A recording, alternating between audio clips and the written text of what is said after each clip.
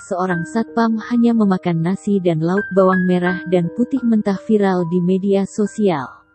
Postingan ini dibagikan oleh akun Facebook Apitlit pada tanggal 7 Maret tahun 2021.